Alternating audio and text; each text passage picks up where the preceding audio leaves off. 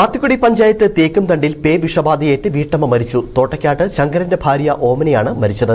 രണ്ടു മാസം മുമ്പാണ് ഓമനയ്ക്ക് പേപ്പട്ടിയുടെ കടിയേറ്റത്. ഓമനയുടെ മൃതദേഹം അടിമാലി കൂമ്പൻപാറയിലുള്ള പൊതു ശ്മശാനത്തിൽ സംസ്കരിച്ചു. ഇവരോടൊപ്പം ഉണ്ടായിരുന്ന ഭർത്താവിനെയും ഇവരുമായി ബന്ധപ്പെട്ടവരെയും നിരീക്ഷണത്തിലാക്കുമെന്ന് ആരോഗ്യവകുപ്പ് അറിയിച്ചു. മെഡിക്കൽ കോളേജിൽ ചികിത്സയിലിരിക്കെയാണ് ഓമന മരിക്കുന്നത്. രണ്ടു മാസം മുമ്പാണ് ഇവർക്ക് നായയുടെ കടിയേൽക്കുന്നത്. എന്നാൽ ഈ വിവരം ഭർത്താവിനെയോ ബന്ധുക്കളെയോ ഓമനെ അറിയിച്ചിരുന്നില്ല. തുടർന്ന് കഴിഞ്ഞ ദിവസങ്ങളിൽ അസ്വസ്ഥത പ്രകടിപ്പിച്ച ഓമനെ ഇടുക്കി മെഡിക്കൽ കോളേജിൽ പ്രവേശിപ്പിച്ചു. ഇവിടെ വെച്ചാണ് തനിക്ക് നായയുടെ കടിയേറ്റ വിവരം ഡോക്ടറോട് പറയുന്നത്. തുടർന്ന് പേവിഷബാധയ്ക്കുള്ള വാക്സിൻ എടുത്ത ഓമനെ വീട്ടിലേക്ക് അയച്ചു.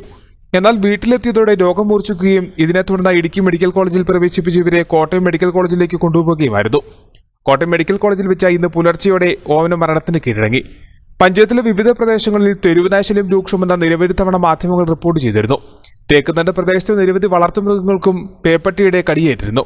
പേവിഷബാധയേറ്റ മൃഗങ്ങളെ ഉൾപ്പെടെ പരിചരിച്ച പ്രദേശവാസികൾക്ക് ആരോഗ്യവകുപ്പ് മുൻകരുതലെന്നോണം വാക്സിൻ നൽകുന്നുണ്ട്. ഓമനയുടെ മൃതദേഹം അടിമാലി കൂമ്പൻപാറയിലുള്ള പൊതുശ്മശാനത്തിൽ സംസ്കരിച്ചു. ഇവരോടൊപ്പം ഉണ്ടായിരുന്ന ഭർത്താവിനെയും ഇവരുമായി ബന്ധപ്പെട്ടവരെയും നിരീക്ഷണത്തിലാക്കുമെന്നും ആരോഗ്യവകുപ്പ് അറിയിച്ചു.